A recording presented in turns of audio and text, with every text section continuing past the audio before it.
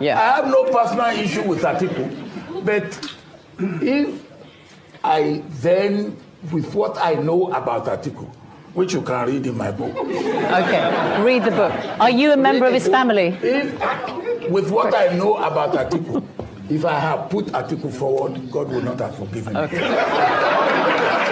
Okay.